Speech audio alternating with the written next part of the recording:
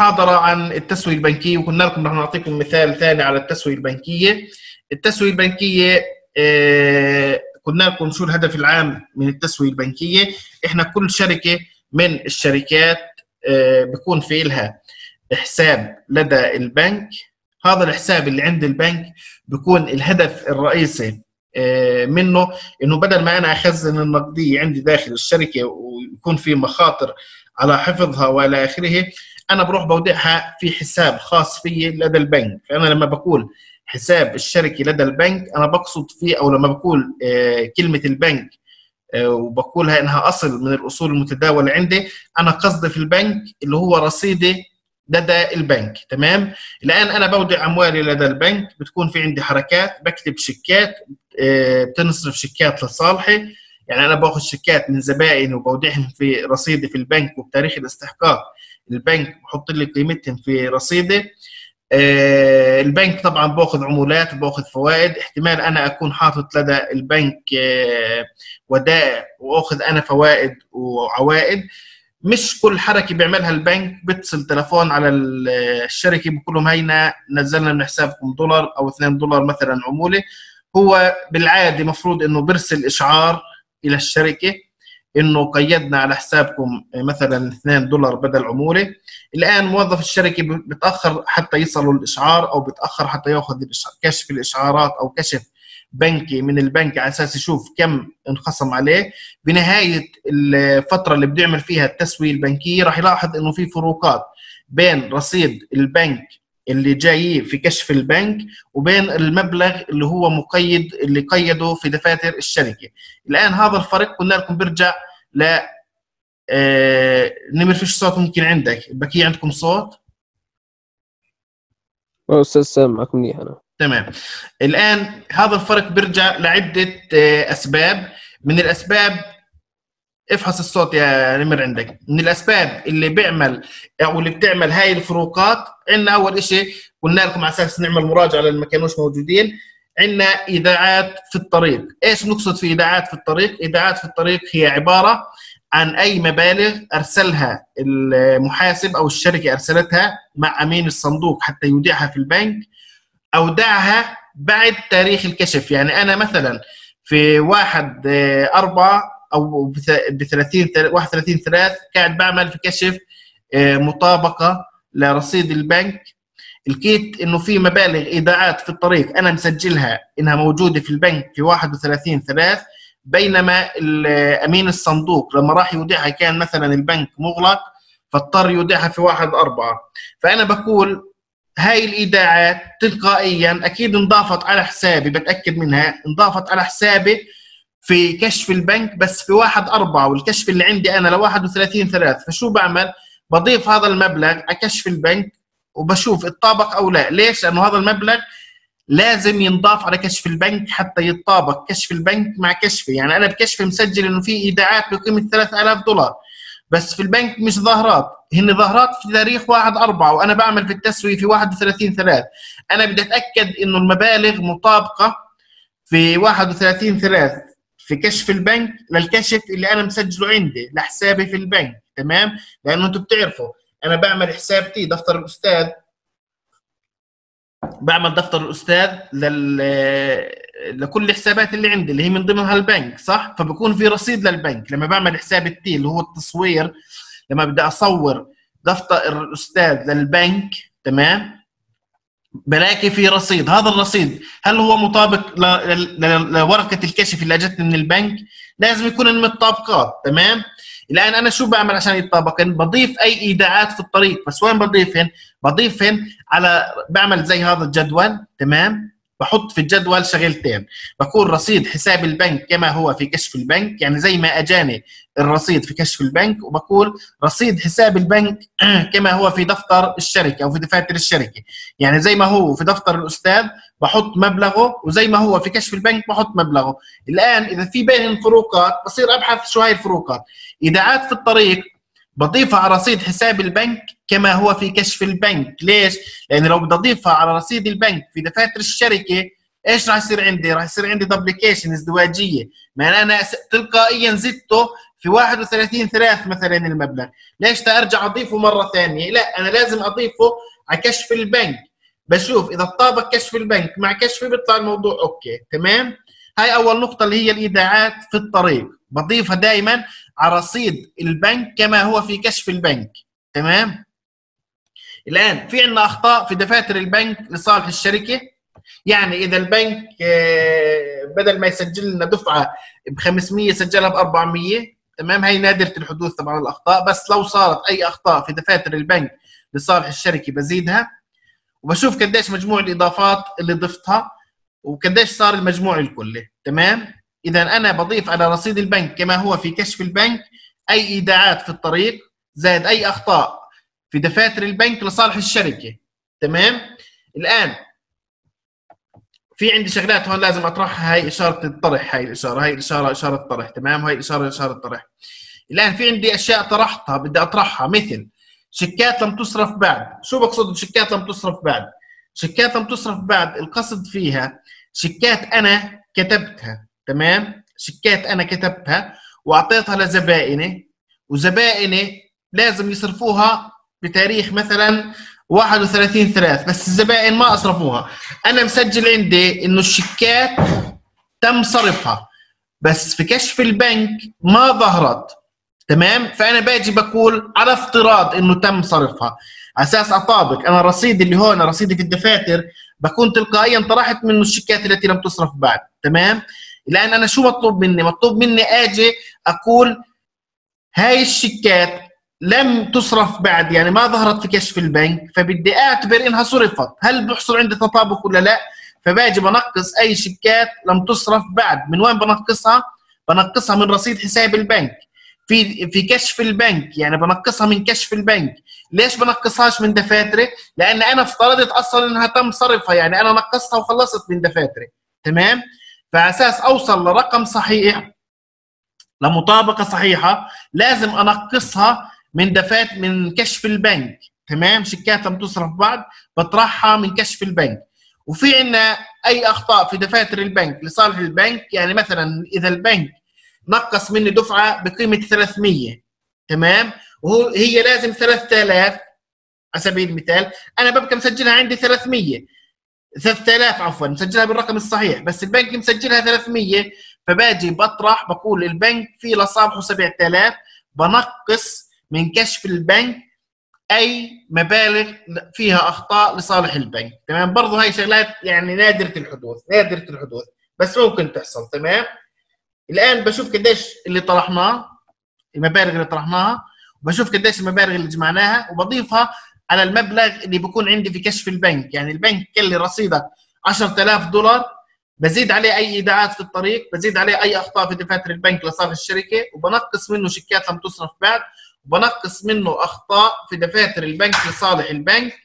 بشوف كم بصير الرصيد عندي. تمام؟ هيك خلصنا الشغل على كشف البنك. باجي أشتغل على كشفه على كشف الشركة اللي هو دفاتر الشركة.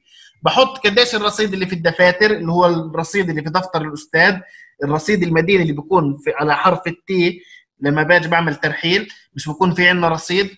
باجي بشوف قديش قيمة الرصيد المديني اللي عندي وبوضعها هون جنب رصيد البنك كما هو في دفاتر الشركة. الآن في تحصيلات حصلها بكون المصرف محصلها لصالح الشركة. في تحصيلات في تحصيلات بتكون المصارف حصلتها لصالح الشركة. مثلا أنا وديت كومبيالي معي كومبيالي وديتها للمصرف على أساس المصرف يحصل لي قيمتها. في تاريخ استحقاقها المصرف حصل لي قيمتها. بس أنا ما بعرف إنه المصرف حصل لي قيمتها ما ودى لي المصرف إشعار. فأنا مش مسجل المبلغ عندي. فباجي بقول بدي أضيف على رصيد البنك اللي عندي تحصيلات المصرف لصالح الشركة. تحصيلات المصرف لصالح الشركة بزيدهن على كشف ال- البنك اللي عندي يعني بزيدهن على رصيد دفتر الأستاذ اللي عندي اللي هي تحصيلات المصرف لصالح الشركة. وأي أخطاء في دفاتر الشركة لصالح البنك بزيدهن في دفاتري. تمام؟ أي أخطاء في دفاتر الشركة لصالح البنك بزيدهم في دفاتري. يعني أنا مثلا عندي شك ب 2500 تمام؟ مسجل إنه قيمة الشك 2000 بدل ما اسجل إنه 2500 البنك خاصم 2500 أنا خاصم من دفاتري 2000 فباجي بزيد مبلغ ال 500 لأنه هذا الخطأ لصالح البنك بعتبره. أنا خاصم 2000 من رصيدي في البنك بس فعليا الشك اللي أنا مطلعه مش 2000 2500 فباجي بزيد أي أخطاء في دفاتر الشركة لصالح البنك. وين بزيدن هذول بزيدهن على رصيد دفتر الأستاذ اللي بيكون في دفاتر رصيد دفتر الاستاذ للبنك تمام؟ بشوف قديش مجموع ال- الإضافات. وبنقص بنقص الشيكات اللي بدون رصيد. شو يعني الشيكات اللي بدون رصيد؟ يعني شيكات واردة خلينا نسميها. بنقص أي شيكات واردة بدون رصيد. شو يعني شيكات واردة بدون رصيد؟ يعني أنا أجاني شيك من زبون معتبر أنا في تاريخ الاستحقاق في 31 3 مثلا اعتبرت إنه الشك تم صرفه. فزدته على حساب البنك. زدته على حساب البنك اللي إلي. تمام؟ الآن. بس رحت جبت كشف البنك لقيت إنه هذا الشك ملوش رصيد وصاحبه مش دافع قيمته. فأنا ليش أقول إنه مبلغه موجود في البنك؟ أنا مسجل في دفاتر إنه مبلغه موجود في البنك. فعلى أساس أوصل لرقم صحيح باجي بطرح قيمة أي شيكات واردة بدون رصيد. تمام؟ الآن في عندنا أي أخطاء في دفاتر الشركة لصالح الشركة. في عندنا أخطاء في دفاتر الشركة لصالح الشركة يعني مثلا أنا في عندي شك بقيمة هسه رح نأخذ عليها مثال على كل الأشياء اللي ذكرناها. أنا في عندي شك مثلا بقيمة آه 3000 دولار. أنا مسجله في دفاتر بدل ما أسجل إنه الشك اللي صادر عني 3000 دولار مسجل إنه الشك اللي صادر عني مثلا بقيمة 5000 دولار. الآن أنا لازم ينزل من حسابي بس 3000 بس أنا منزل من حسابي 2000 أو عفوا 3000 تمام؟ لازم ينزل من حسابي 3000 أنا منزل من حسابي 5000 دولار. تمام؟ هاي الأخطاء لصالح الشركة. في عندنا أي مبالغ تم خصمها من قبل آه، البنك ولم تسجل في دفاتر الشركة؟ مثل إيش أي مبالغ تم خصمها من الحساب من قبل البنك ولم تسجل في دفاتر الشركة؟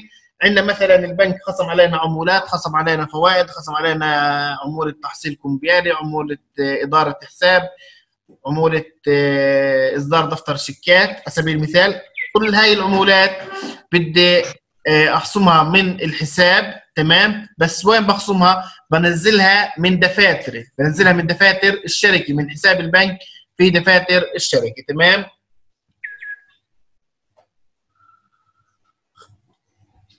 تمام أستاذ.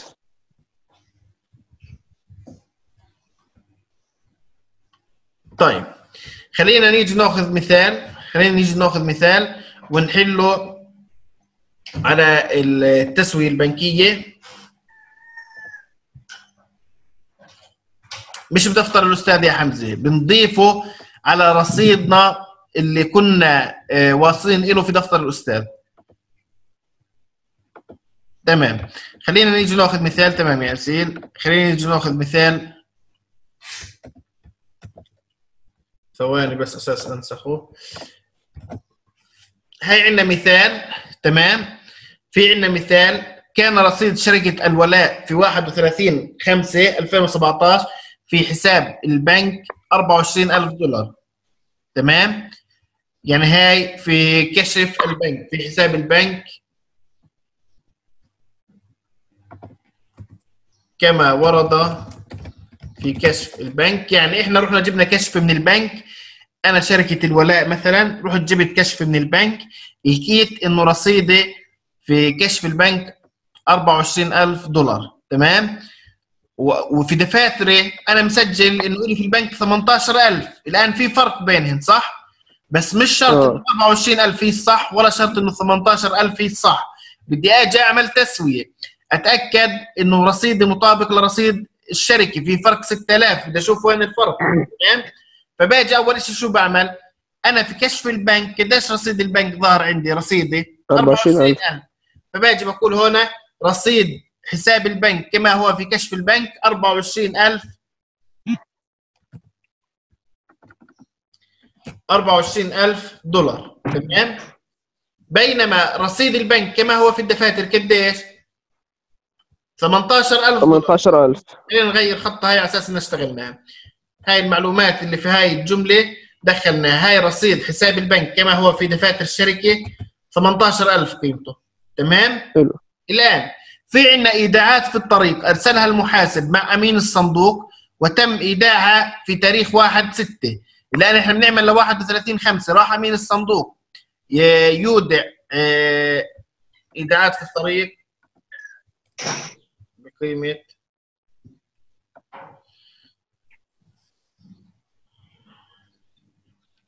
خمس آلاف تمام؟ هناك إيداع في الطريق بقيمة خمس آلاف. ودينا مع الأمين الصندوق خمس آلاف دولار على أساس يودعهن في البنك.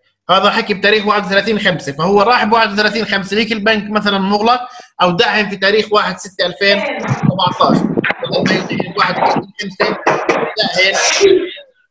أو دعهن ب 21 إيه، عفوا أو دعهن ب 1 6 2017 تمام؟ الآن هاي الإيداعات في الطريق قلنا راح نضيفها. آه بتعملوا نفس الجدول. الآن إيه، سهل سهل الجدول. هسه بنرجع نشرح مرة ثانية عليه. راح نضيف أي إيداعات في الطريق. أنت بتكون معتبر مش فاهم يا فارس. يعني أستاذ بحكي لك في الامتحان أنت بتكتب الرصيد الحساب تبع الشركة؟ آه أنا بكون معطيك نحن إياه. رصيد الشركة ورصيد البنك بكون معطيك إياه. آه زي على اي أساس آه تطابق بالضبط تمام؟ عندنا إيداعات في الطريق. بقيمة 5000 دولار هي ضفنا الإيداعات اللي في الطريق. تمام؟ خلصناها هاي النقطة.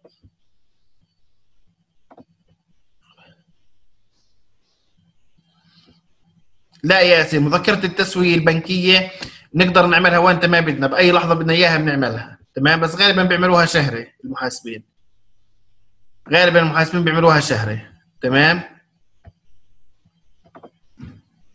تمام. طيب في عندنا شك آه، شيكات لم تصرف بعد. في عندنا شيكات لم تصرف بعد. تمام؟ في عندنا شيكات لم تصرف بعد. بقيمة 600 دولار وبقيمة 900 دولار. خليني بس أشوف إذا عشان تتطابق. 24 29 29 ناقص صوتك مش واضح. مش واضح.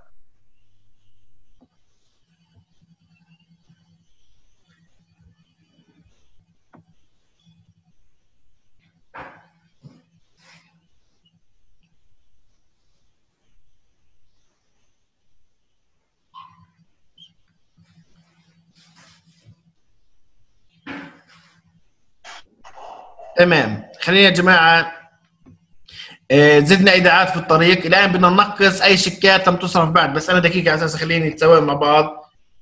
دقيقة على أساس خليني نتساوي مع بعض. آه،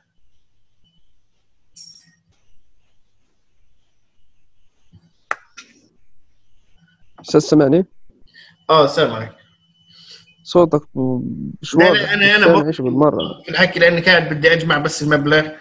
لا 24 وأنت بتحكي بقطع الصوت.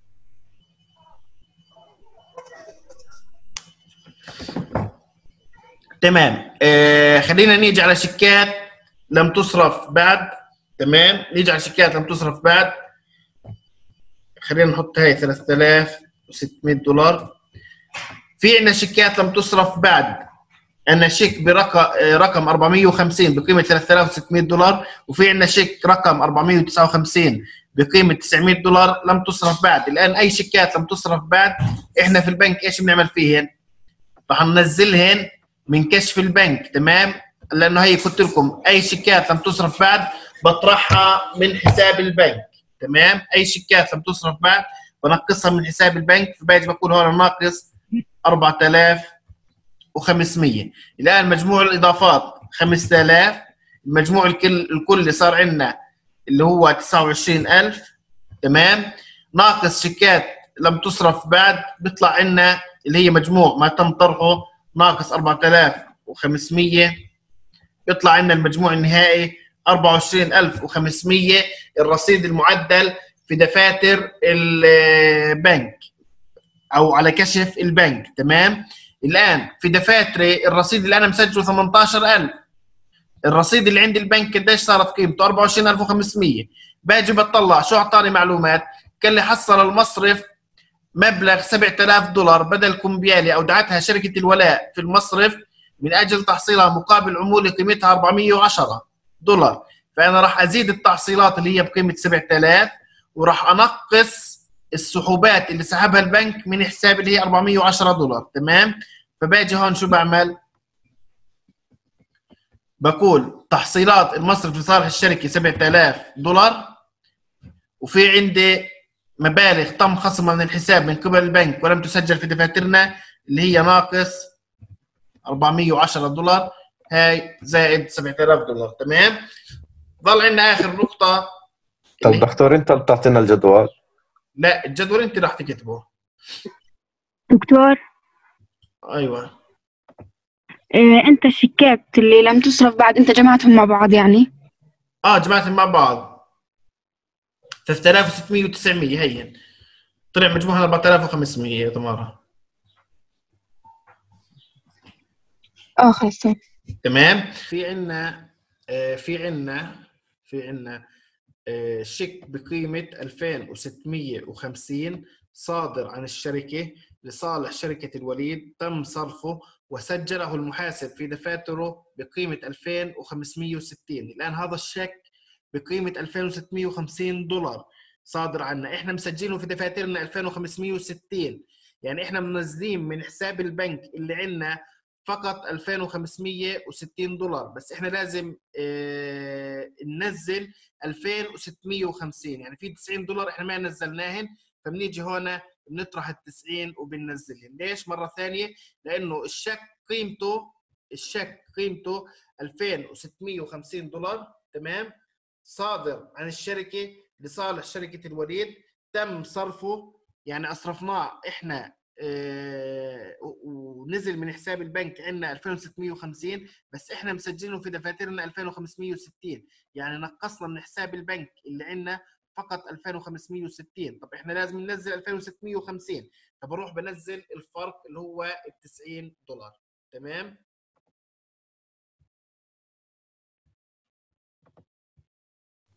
صح بحكيك حمد نحط الفرق مش الرقم. أيوه بحط الفرق مش الرقم. صحيح.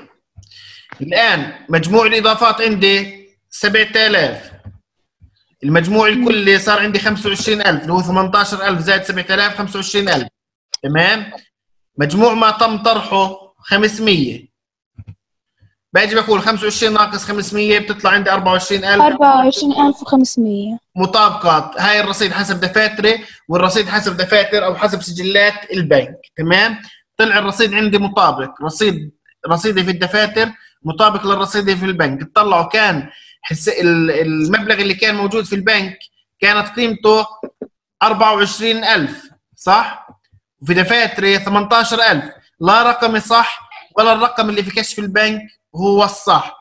لما عملت تسويه ضفت الإيداعات اللي في الطريق نقصت الشيكات التي لم تصرف بعد وزدت التحصيلات ونقصت العمولات ونقصت الأخطاء طلع عندي الرصيد مطابق 24500 في الحالتين تمام؟ إحنا فينا السؤال نزلنا لكم إياه على LMS حكوا لي في خلل 28000 لازم بدل 280000 فبرجع براجعه إن شاء الله وبشوف لكم إياه وبعدله ما لسه ما راجعتوش تمام؟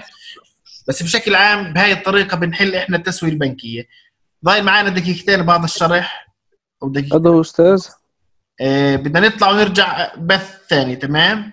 نطلع ونرجع بث ثاني على السريع. ماشي نعطيكم ماشي. نعطيكم مثال ثاني بنحله مع بعض تمام؟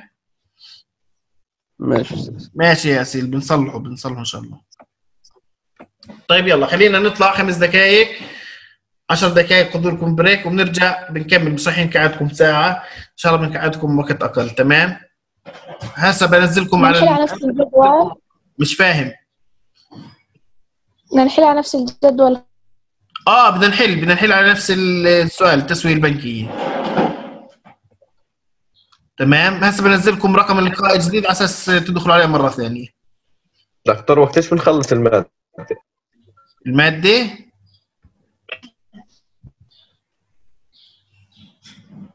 مادة المحاسبة اثنين. لسه النهار بأول ويا من بدنا وقت بدنا وقت. بعين الله دكتور. الله بعين طيب خلينا بنخلص هذا اللقاء. هسه بنزلكم الرقم الجديد. تمام؟ يعطيكم العافية. لأنه لما أنا طرحت زي ما كان مكتوب طلع سالب 90 هو بيطلع موجب 90 آه هسه صح راح يطلع.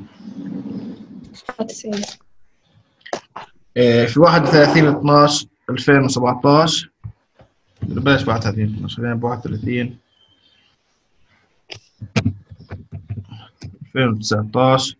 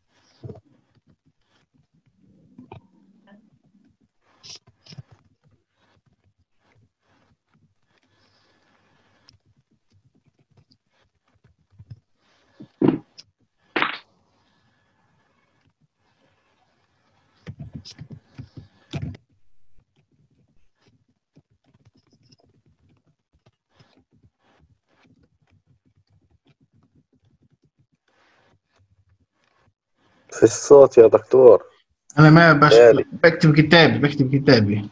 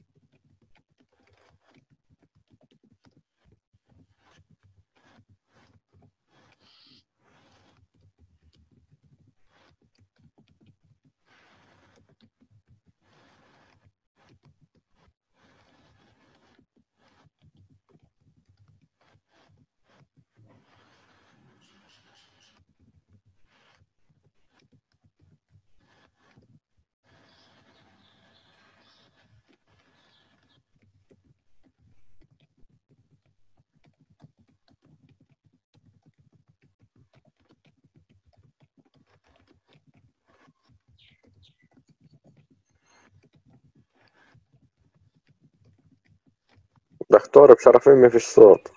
حبيبي أنا أنا بحكيش أنا بكتب بدون ما أحكي. أنا بكتب في السؤال. أكو أوكي. بحكي في السؤال. تمام.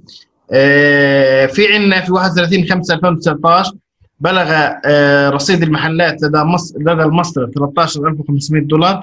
في حين بلغ رصيد حساب البنك في دفاتر محلات الامانه بقيمة 8700 دولار. تمام. النقطة الثانية هاي أول نقطة. النقطة الثانية طالبت المحلات بإيداع مبلغ 600 دولار نقدا بالحساب في 31 5 2019 وفي نهاية دوام المصرف ولم يظهر المبلغ في كشف البنك. تمام؟ عندنا بعدها في شيكات لم تصرف بعد. هي معطينا قيمة كل شك ورقم الشك وفي عندنا إشعار من المصرف بتحصيل قيمة كومبيالي يعني هي تحصيلات لصالح الشركة. وفي عندنا شيكات آه، بدون رصيد. وفي عندنا عمولة بدل إصدار دفتر شيكات بقيمة 10 دولار. تمام؟ وفي عندنا تسجيل خاطئ لإحدى الشيكات. الآن الناس اللي كانت عن الجدول إحنا التسويه البنكيه يا جماعة تقدروا تعملوها بالطريقة الأسهل أو الأنسب لكم. تمام؟ بس المهم يبقى في ترتيب لمذكرة التسويه يعني أنا مثلا بقدر أجي أقول أول نقطة قديش رصيد الم- المصرف؟ 13500 صح؟ مظبوط. أيوه بكل بلغ رصيد المحلات لدى المصرف 13500 دولار. فباجي هون بقول 13500 دولار رصيد المحلات لدى أو كما هو في كشف كشف البنك. تمام؟ 13500 طيب في عندنا إيداعات في الطريق بقيمة 600 دولار. كنا إيداعات في الطريق شو بنعمل فيها؟ زائد. بزيدها على. كشف البنك صح؟ هي اللي قلت لكم إيداعات في الطريق بزيدها على كشف البنك. أي إيداعات في الطريق بزيدها على كشف البنك. فباجي هون شو بعمل؟ 14100 قديش قيمتها إيداعات في الطريق؟ 600 دولار صح؟ ستين باجي مم. بضيفها على كشف البنك. بقول زائد 600 دولار اللي هي إيداعات في الطريق. خلينا نيجي للنقطة اللي بعدها الشيكات المحررة الآتية من قبل محاسب المحلات لم تقدم للصرف الآن الشيكات التي لم تقدم للصرف شو بعمل فيها؟ بدي أطرحها أصلها بدي أطرحها من كشف البنك صح؟ بدي أطرحها من كشف البنك قديش قيمتها؟ 5100 واحد بقيمة 3000 والثاني 2100 فباجي أقول آه. هنا قديش كنا قيمتهن؟ آه، 5100 ناقص 5100 اللي هي شيكات لم تقدم. الصرف بعد. تمام؟ في مشكلة هون يا جماعة؟ لا. طيب بقية الأشياء لها علاقة في الشركة تمام؟ لها علاقة بالشركة ما لهاش علاقة في البنك. يعني هون تحصيل كومبيال البنك مسجلها أنا مش مسجلها.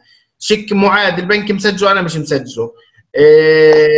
في عمولة 10 دولار البنك مسجلها أنا مش مسجلها تمام؟ في خطأ بتسجيل هاي عندي بدفاتري تمام؟ فباجي بجمع بقول تسعة آلاف. 13500 ناقص 5000 18 8500 قديش يا الفرونت؟ 6000 تسعة آلاف. زائد 600 ناقص 5100 9000 صحيح. إيش بقول؟ 9000 الرصيد. المعدل في كشف البنك تمام.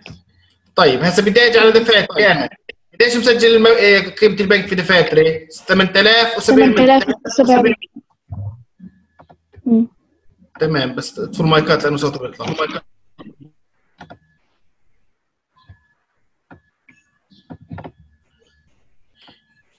تمام باجي بقول 8700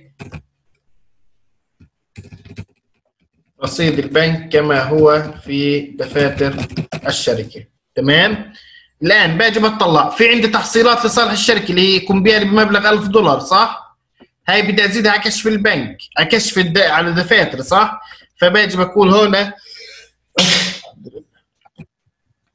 باجي بقول زائد 1000 اللي هي كمبيالات حصلها البنك لصالح المنشأة. طيب في عندي هنا شيكات بدون رصيد الشيكات المعادة الشيكات اللي بدون رصيد. شو كنا بنعمل فيها؟ شيكات بدون رصيد. بدي أطرحها صح؟ و... وبنفس الوقت في عندي عمولة بمقدار 10 دولار بدي أطرحها. فباجي بقول خلينا نعلمها إنه عملناها.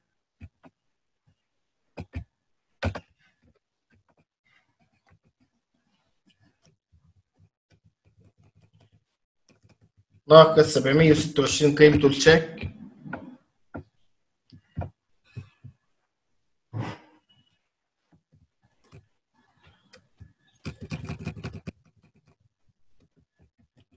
شيكات بدون رصيد مرتجعة.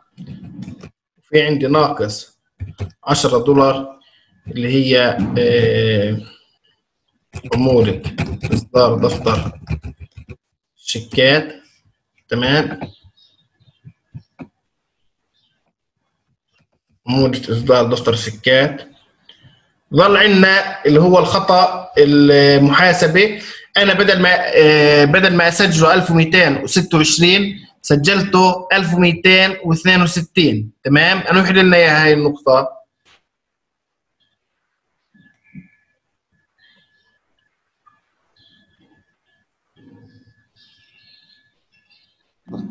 آه. شو يا أستاذ؟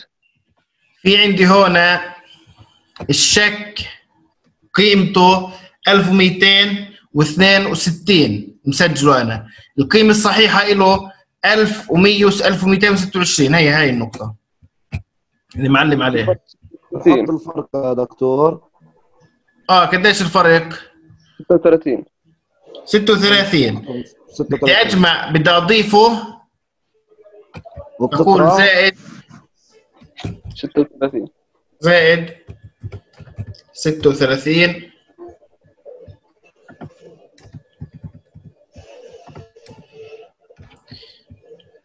ثواني بس نرتب الجدول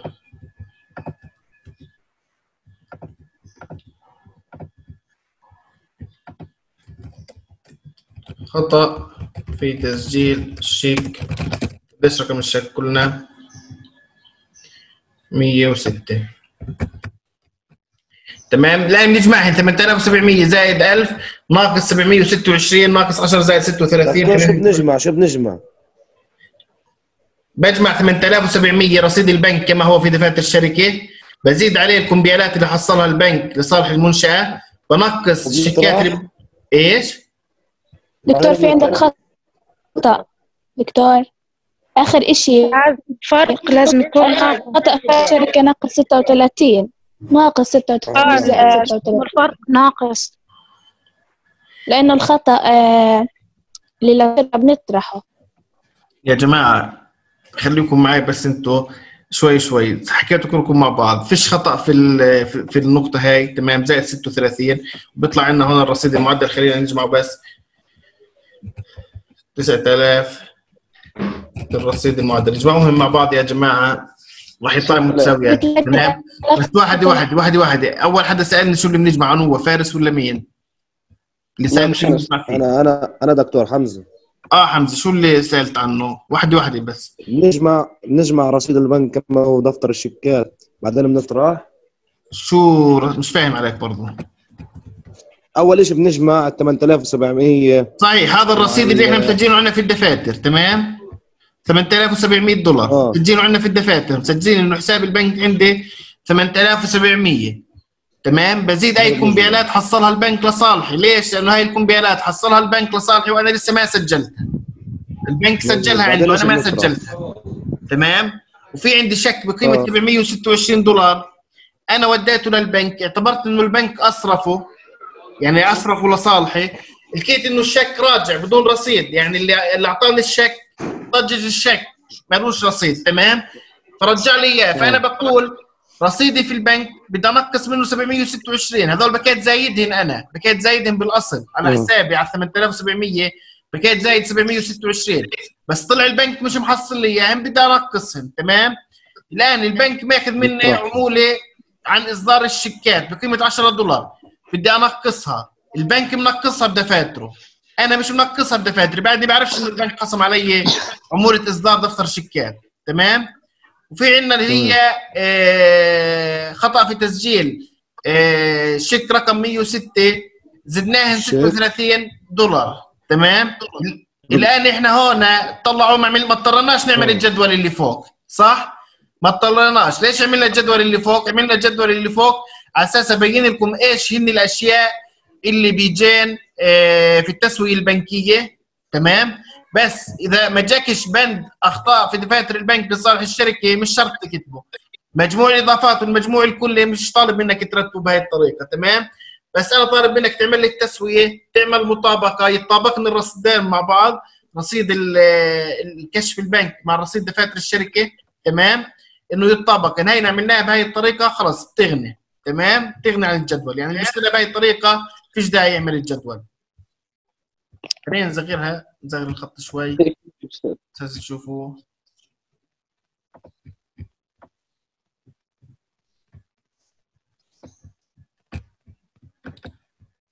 دكتور 9000 في مجموعة ال ال- شو اسمه؟ آه طلع المجموع في دفاتر الشركة والمجموع في دفاتر البنك 9000 9000 تمام؟ هذا صحيح. دكتور. آه. رجعش. أيوة خلي هون بس شوي. تكتبوهنش يا جماعة ما أنا هسه بدي لكم اياه الملف لا بس لأنه بالسؤال اللي قبل المبلغ محناه عدلناها ما إحنا يا يعني رحنا غفران يا غفران ولا عشان؟ هيك. آه عدلناها لا عدلناها. غفران آه. بس كنت أشوف السؤال. عدلناها عدلناها.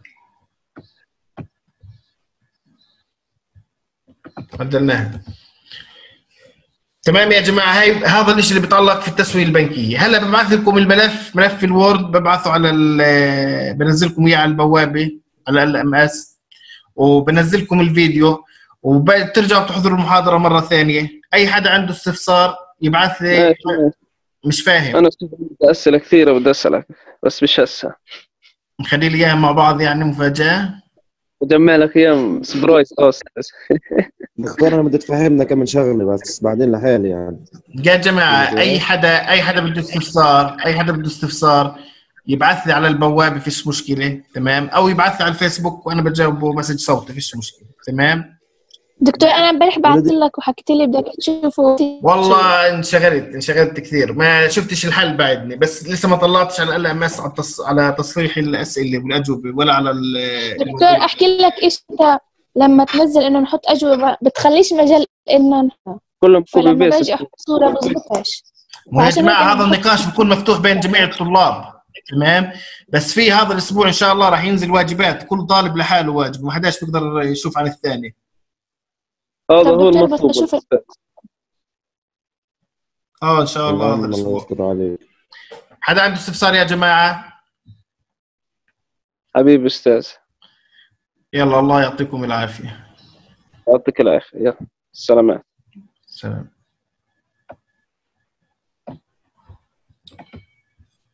الله يعافيك يا رب الله يعافيك من جميع السلامات.